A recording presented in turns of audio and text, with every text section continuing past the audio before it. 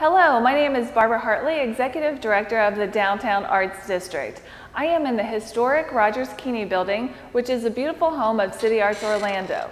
In 2020, downtown Orlando was the site of multiple Black Lives Matter protests. In the heat of the summer, the streets were electric, with passionate individuals marching for justice. Since City Arts is located right on the corner of Pine Street and Magnolia Avenue, our building was a common stop for protesters to take a break, drink some water, and cool down. As a team, we were extremely proud to know that many individuals considered City Arts a safe space, but after giving it careful thought, we knew we could do much more. In the summer of 2020, the Downtown Arts District made a statement on behalf of the staff and board of directors saying the organization is committed to listening and doing. With the guidance of board members and community advocates, we developed a program called Access, Being Black in the Art World. We launched Access back in July of 2020 with multiple exhibitions and multiple virtual talks. I'm proud to welcome you to our current exhibit called Roots Raizes, curated by Sorcha Baty and featuring the work of Chris Santos.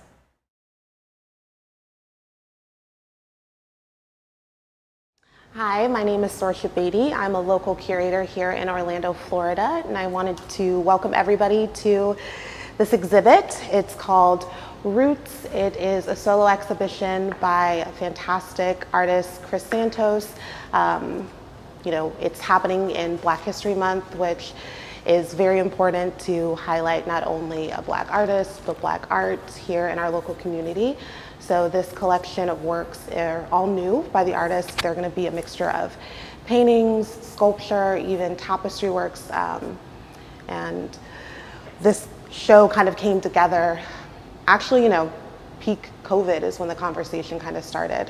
I was fortunate enough to meet up with Chris and we were talking a lot about what was happening in the art world, things that we would like to see change, things that we would like to see reflected within our community. And I simply posed the question of, if you had a solo show, what would that look like? And after that conversation and sitting there talking about, you know, things that he was very passionate to share with an audience, the show kind of got brought to life. So we're really excited to be here, um, you know, both in the city that we live in, to be able to share all of these works with our community. So I am an independent curator here in Orlando, Florida. I first got into the world of curating through my background. My education was in art history, um, and through there I went to grad school for arts administration. I have been working in and around the gallery world for the past 12 years. Um, I worked in Jacksonville, Florida as a gallery director and also briefly at a gallery here in the local community as a gallery director curating shows. Um, for me, the importance of being a curator is being able to share stories, share artists' views, their passions, um, and make it just presented in a way that audiences can really enjoy can kind of dig into the deeper meanings of the pieces and really get an opportunity to interact and engage with the artist. Um, being a black curator is specifically important because growing up in this industry and you know being in the art world now there is not a lot of diversity there's not a lot of inclusion so being able to stand here proudly as a black female curator it's really important to me to share stories very important for me to share black stories as well. So I'm excited and happy for you guys to share this story with us. Welcome to City Arts for our virtual tour of the solo exhibition Roots by Chris Santos. Okay, so now I am proud to introduce you to our featured artist for this show, Chris Santos. so Chris is going to be taking us through his works and telling us a little bit about you know, the pieces and the importance and the significance of this show. Awesome. Thank you, Sorcha. Um, I want to welcome you all to Roots Raizes. This is a show about me, my culture as an African American and as a first generation Cape Verdean American. Um, originally, I'm from New York, came down here for graduate school at UCF, graduated with my master's in fine arts back in 2018. Since then, I have taught at UCF for a couple years as an adjunct professor, and now currently I'm focusing uh, my talent, my time on my craft. Um, with that being said, the work that I create is a work about two different cultures submerged into one to create essentially who I am in this world that we live in.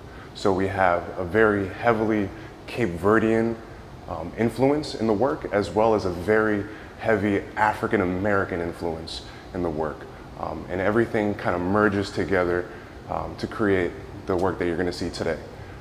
All right, so Chris, let's talk about what is pretty much the, the flyer that we've been promoting all over social media. This is the piece that, you know, for anybody who has been following the show and being excited about the show has probably seen um, All Star.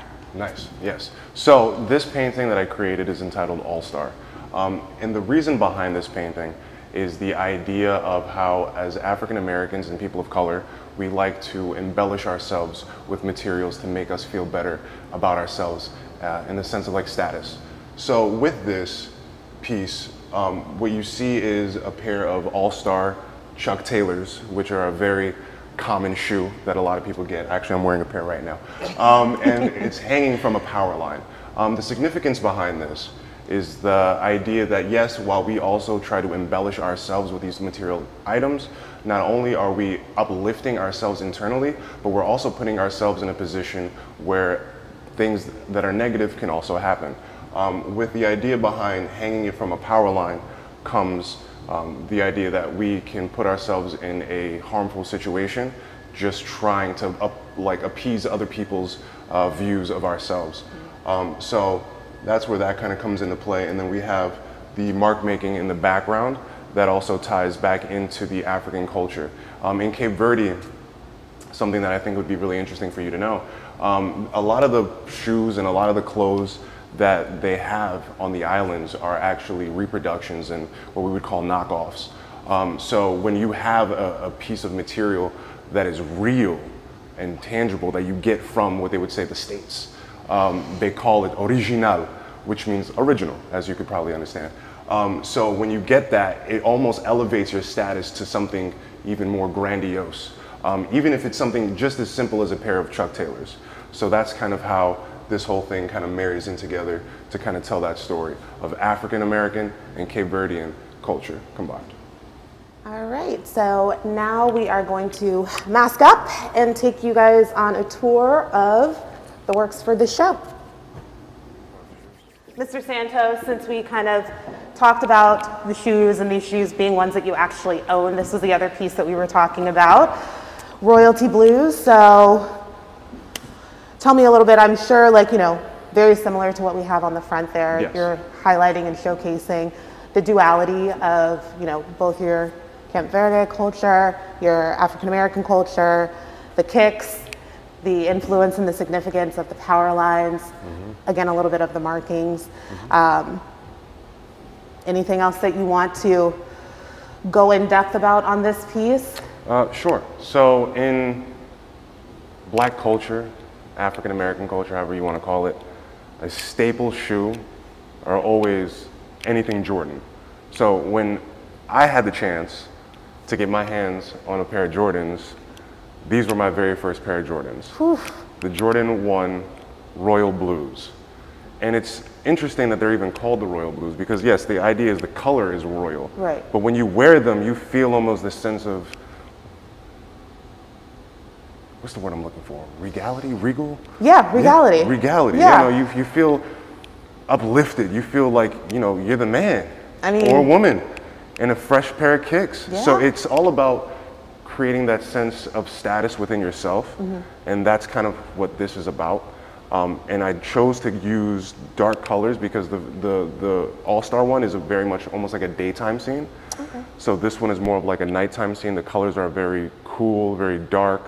Um, and it also ties in with the idea of it also being, you know, uh, it can also be seen as something negative too, um, with the idea of royalty blues, because you know, when you wear a pair of shoes like this, you do draw a lot of attention, and sometimes the attention is not always positive, even though you might want it to be.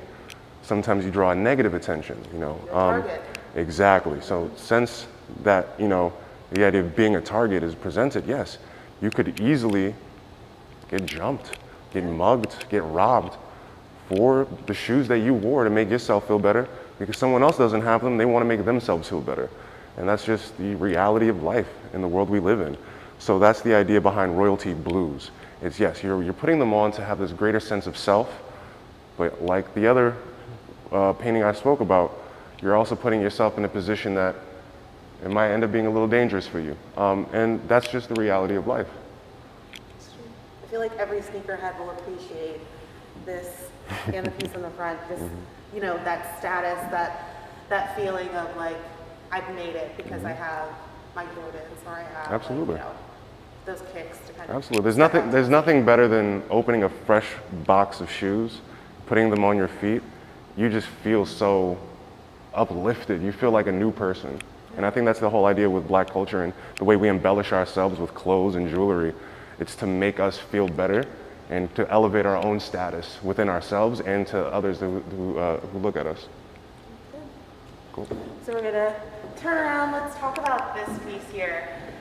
I actually emailed you about this one. Yes. Because, again, this piece, I, I love it, I love what you've done here, I love the coloring, I love the composition, I love the, the writing that you've had on it as well. And when I first saw it, you know, I asked you if this was um, you know, in reference to the disproportionate black and brown communities that have been heavily impacted by COVID. Absolutely. Just because we have, you know, the writing, and I don't know how well it's coming across for you guys, but it says wear masks. Um, and you told me, you know, again, with every piece that you guys will see in this show, it has duality to it. So it doesn't have just one straight meaning. And you said it was a little bit about that, but you also said something else. Yeah, yeah, absolutely. So, like Sorcha said, the, the work is about the disproportionate effects that COVID has had on African communities and communities of color in general, but it's also about wearing a mask. Not necessarily just these types of masks, but a mask that allows you to walk the world freely and be safe in it. So, as people of color, we've been taught since a very young age essentially to wear masks or to code switch in order to make it through the day and make it home safe. I know as a kid growing up, my mother and father used to always tell me, um, you know, whenever you're in contact with the police, it's yes sir, no sir, yes ma'am, no ma'am. Don't give them any reason to think of you otherwise. And your job really is to make it home safe. So the idea about wearing masks is it's, it's a call to people of color to wear masks because it keeps you safe, not only like here, but outside in the real world. And it also helps open doors, unfortunate as that is, because we have to portray ourselves in a way to make other people more comfortable with who we are in order for them to give us certain opportunities. And I mean, like I said, that's just the reality of the life that we live as African Americans, as people of color in this society. So yes, so wear masks is about, you know, the disproportion um, in the effects on African American and brown communities, as well as, again, code switching we all have to. code switching in order to just make it through the day. At the end of the day, it's all about making it home and being alive to be with your family. So that's what wear masks is about. And the actual significance of the mask that you portray, Yeah. because obviously it's not like the ones that we. No, no, right not at all, not at all. So the reason, and you'll see this in a couple of my other pieces, I use this mask, and I actually have this mask at home. Um, I use this mask to represent people of color, um, especially African Americans. Now, when I paint these masks, it's all gonna be a little bit different because yes, they represent uh, people, but we're not all the same. We're not, it's not this one monolithic kind of idea between African Americans. You know, we all come from different backgrounds. We all have different looks and shades and, you know, personalities um, and ideals that come with us. So each of these masks are gonna be a little bit different, but they're all rooted in the same thing. It's all rooted back to this African mask that really represents who we are as a people. And so moving to Wear Masks 2, where we kind of had very bold, in your face, kind of the call to wear a mask. Here, we have it only shown once, definitely shown smaller. Mm-hmm. Yes. You know, again, kind of going from a bright piece to a darker piece here. Mm-hmm. Talk about the importance of, again, kind of giving you the, Yeah. the opportunity to both. So with the piece that we just saw, Mask One, that's really more about um, telling you to really wear a mask. I mean, they're both about telling you to wear masks, but this one is definitely more uh, aggressive with it because it's really trying to tell you that, you know, without that, there is no way to make it safe in this world. With this one, I think this one, I, I created it to be a little more cooler, a little bit less intense because while this one is telling you about making a home safe, I feel like this one is more about making people comfortable, right? So the colors I use for this are very intense, they're very vibrant, they really get, you know, my, kind of like uh, your anxiety levels up a little bit, especially with the re repetition of the words kind of circling through the image.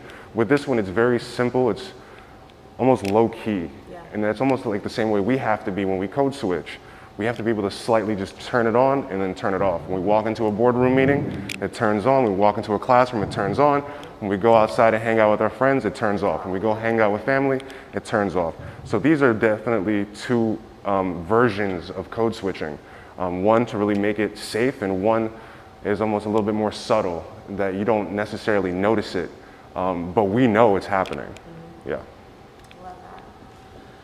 So one of the things that I really love about this show is that, again, like you mentioned, it's Black History Month. These are black stories, yes. but the black race, the black people are not monolithic. We're not all from the same place. Right. You're from Cape Verde. I'm from the South. We have friends who are from completely different places.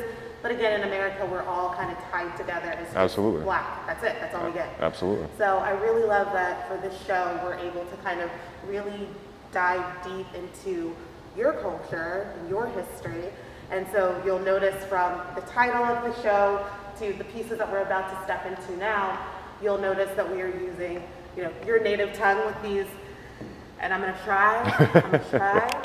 So that? Yes. Okay. Yes, good. So we're locking into um, some pieces that again, in the lettering, the wording of them, and we'll talk about the meanings, uh, the actual literal meanings of these pieces but I, I, really appreciate that we're able to kind of mix both of these together. So let's talk about this piece.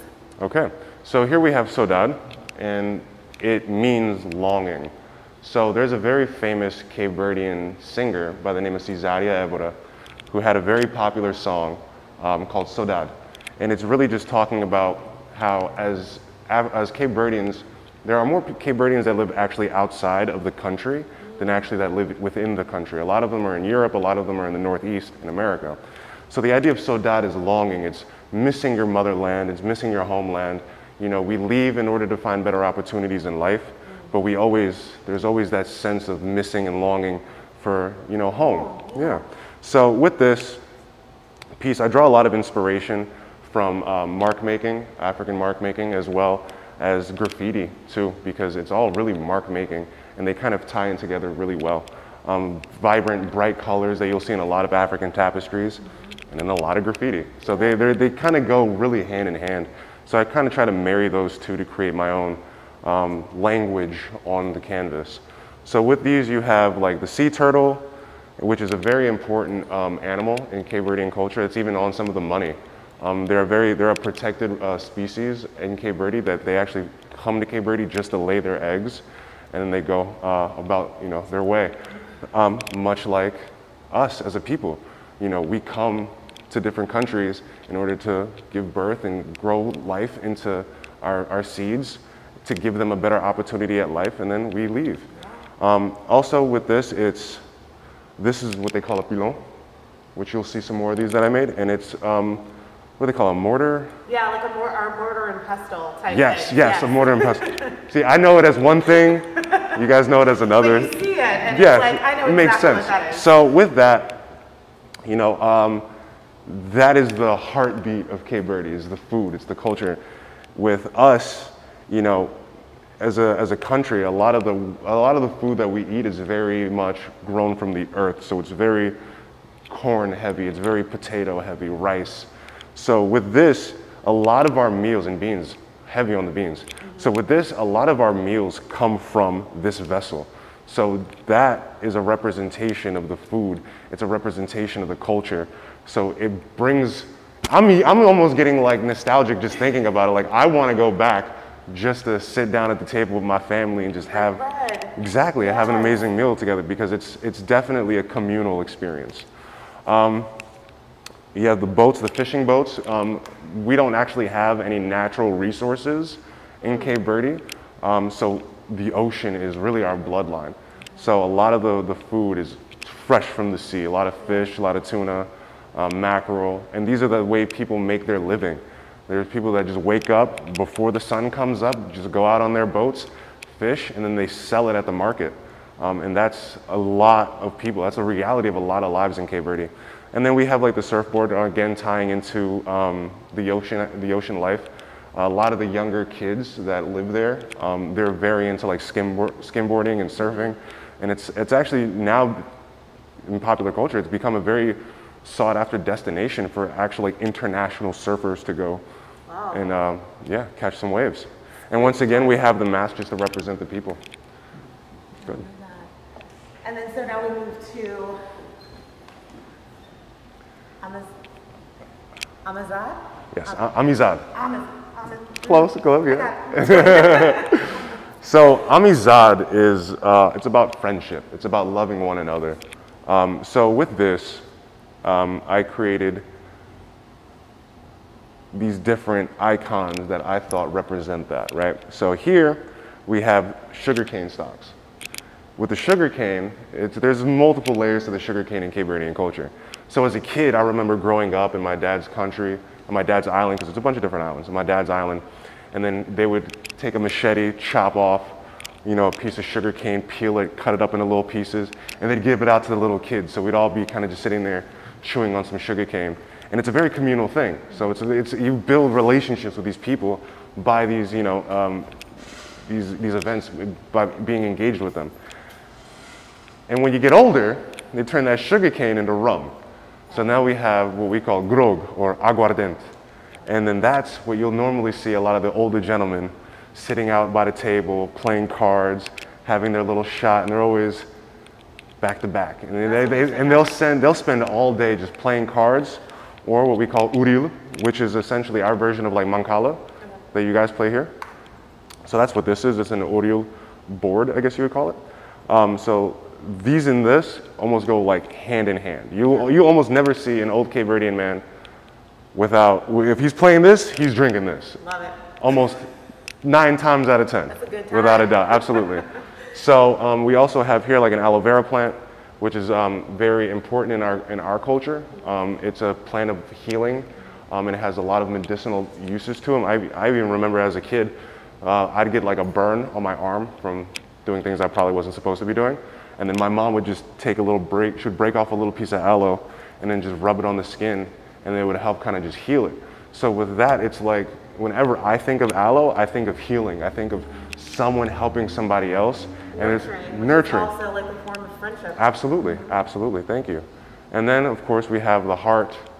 It's just, it's all love. In yeah. Cape Verdean culture, so you have amizad, and then we have this saying called morabeza, which is essentially like hospitality. It's almost like brotherly love, mm. like how Philadelphia has that slogan. Morabeza is that kind of embodiment of brotherly love. So whenever you go to the country, there's always people, even though we don't have a lot, they're always welcoming. They always have their doors open. You know, if you need some water, they'll get you some water. You hungry? Come sit down, eat with us.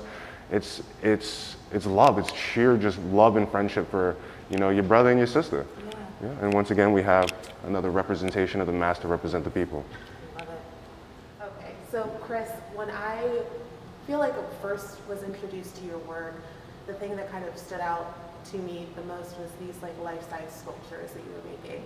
And first the size of them and then also the medium of them. So I have been in love with them ever since. I love this piece that you kind of were able to show a little bit on your social media about, mm -hmm. but I'm glad that you kind of left it um, so that we could all just really bask in just the magnificence of this piece mm -hmm. and the fact that we have it positioned at the front of the gallery so that everybody walking from the street can see that it's one of the first things that you encounter um, is really great. So could you please tell us about Mother God, Mother God, Mother Queen God. I'm sorry. I'm sorry. it's fine. so yes, so this piece really speaks about um, in my, I grew up in a, in a house raised by women. I've almost like, feels like hundreds of aunts. because both of my parents are from really big families. So I was raised heavily by African women. Um, and the material that I decided to use was cardboard. Um, and the reason why I work in cardboard is because it's a byproduct of wood. And these sculptures were inspired by these little African these little African carvings that we used to have in the house when I was a kid. And when I was a little older, I found out that they weren't like real, like genuine, like African sculptures. They were like these very um, kitschy, mass-produced pieces that they sell to tourists. Mm. So it wasn't until I got older that I found that out. So with this, what I do is I, I think of it in the terms of what was the original and what are the byproducts of the original. So the original African works are hand carved by the uh, indigenous African Americans, or Africans, I should say, not African Americans. And they're used for very important things, you know, ceremonies, rites of passage, um, things of that nature. Um, so when I saw what I had at home, I thought that's what it was about. But in reality, it wasn't, right? So you have the original, then you have this mass-produced kitschy knockoff that they sell to the tourists. Yeah. And then what is a step removed from that? Because I myself am a step removed. You have the original African from Africa, then you have the Cape Verdean, which was brought to, uh, brought to Cape Verde from Africa by the Portuguese. And then you have me, which is a byproduct of that, which is American, right? So that's three steps. So what is another step removed from the kitschy knockoff that I grew up with? I started thinking in terms of material. So with the material, I started thinking, okay, it's made from wood, yeah. hand carved from wood, the original. The knockoff, it's made from wood, more than, more than likely it's machine, it's made by machine. Okay, then what's, what's a derivative of wood? What's another byproduct of wood that also speaks to American society? And I immediately came up with cardboard. Mm. You know, it comes from the same plant, if you want to be, you know, general about it. But it also speaks on American society in a sense. So we have the idea of boxes, right? Packaging, shipping. Also ties in with packaging and shipping of a people, right? Because Cape Verdeans are, were packaged and shipped. Slaves were packaged and shipped for the benefits of others. So in American society, we have boxes. A lot of us now, especially in COVID, we get everything in the mail. No one wants to go to the store. We're ordering on Amazon like it's nobody's business. And everything comes in a box. It's packaged and shipped. So with this, I'm, I'm kind of creating, um, I'm kind of creating a narrative with that. Um, and I chose to create it in the, in the shape of a woman, a female form, because uh, African women and African American women throughout history have been so hypersexualized that I wanted to really turn that on its head, right? So uh, in today's society, we, we see a lot of them in magazines and how other cultures try to portray themselves like us, whether it be, you know, tans and bronzer to uh, lip fillers, lip fillers implants, implants injections, mm -hmm. even to the hairstyles, right? Everyone wants to imitate the original. So with this, I try to highlight certain things that, you know, might have been viewed as not so um, pleasant, right? So we have, you know, the large, luscious lips. We have the nose that's very uh, wide, yeah. right? And then we have here, we have breasts that are large. Even um, we were having a conversation about it the other day where I was referencing Venus of Willendorf, you know? The, the voluptuous figure, the breasts, you know, it's not about hypersexualizing it, but it's about understanding that it's, it's about love, it's about nurture, it's about growing, it's about life, you know. Um, and all of this is what creates life. Um, so I wanted to take something that was viewed negatively um, in, in society and try to turn it on its head and make it seem more positive. It's almost like reclaiming it in a sense. Um, and then I'm sure a lot of people are going to feel very controversial about that opinion for, you know, good reasons. But, you know, we can always have a conversation about that. And then hopefully uh, I can get you to see my point of view. So this is Mother Queen God.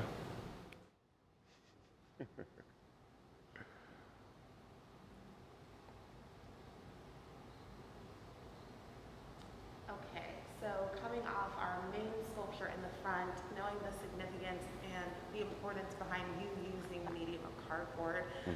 I think a lot of people, when they come to see the show or when they watch it online, will be familiar with this sculpture here, this pilon, as they will see it, um, you know, referenced in your painting Sodade.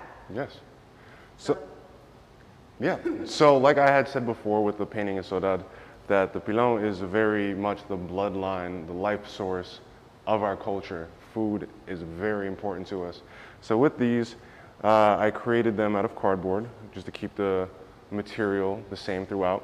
And then inside you have corn, which is also, you know, represented with like our food. Like corn is a very huge staple in a lot of our traditional dishes between corn and beans, um, mixed in with a little cauliflower, some collard greens, you know, different. Um, Got a meal. oh, absolutely, absolutely. Different, you know, vegetables and, and things grown from the ground, potatoes.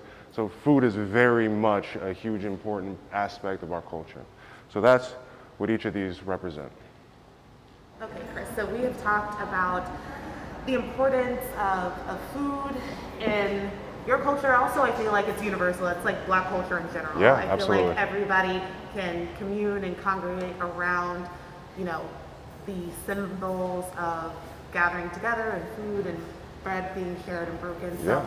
talk to me about these final three sculptures that we have in your show. So here we have fork, spoon, knife, or as I would call it, garf, clear, faca. Yep. And these are very nostalgic to me um, because growing up, I would see in a lot of like my aunt's kitchens these carved out wooden spoons, forks, and knives just hanging up on the walls as decorations.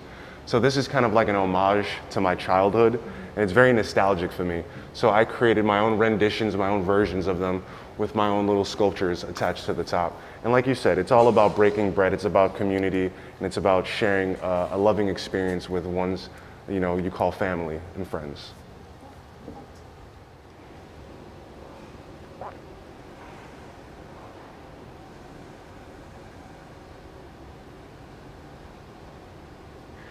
So I almost feel like you can't have a show in Black History Month without showing the symbol that a lot of blacks globally recognize as a symbol of, of power, a symbol of strength.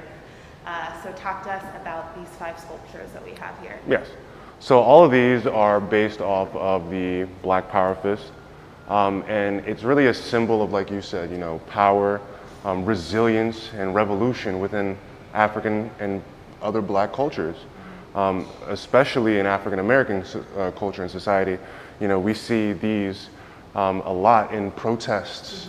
You know, when people uh, want to stand up for their rights or want to stand up for, you know, um, other people of color. We, we see them revolting or we see them gathering in, in sense of protest um, to, to raise awareness of the importance of black life um, and black bodies.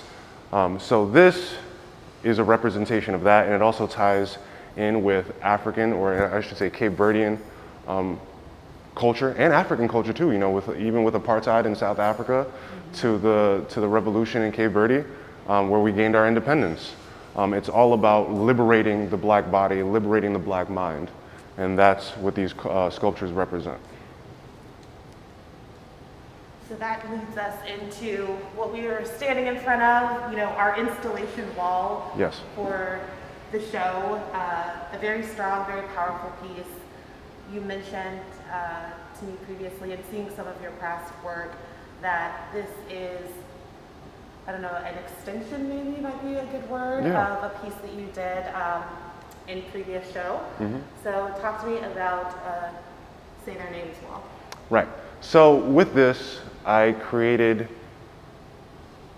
an image to represent really every black person in America that was murdered unjustly at the hands of law enforcement in all of 2020.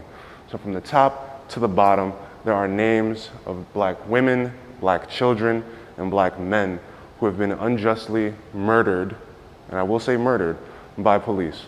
Um, so with this, I use a noose to represent the lynching of these people because they were lynched. And now, instead of using it as hanging from trees, now we're getting lynched by the guns. Of officers, of you know, white supremacists. And that all ties together historically as, as we might think that in, you know, those days are over, you know, that's all in the past. No, it's still very present and very relevant today. And it's just changed as far as the, the style of execution. You know, before they would have almost like lynching parties where people would come and gather to see a black man being hung. Now we have social media where we have people watching black men get killed by guns or knees to the neck almost every day. You'll, there's another video of an unarmed black person getting um, abused and getting murdered by other individuals, um, whether it be police or white supremacists. So this is a representation of that, and it's very important that we know their names, because these are the people who are victims right? You know, let media tell you one way or another, they might paint a different picture. But at the end of the day, in my opinion, if a person of who's not of color commits a crime, i.e., shooting up a church or a school, they can get handcuffed, put into a car, and have their day in court. But a man sitting in a car with his wife and his child, reaching for his wallet will get shot dead in his car in front of his family for absolutely no reason, has no trial, has no justice. So, this is what that is a representation of.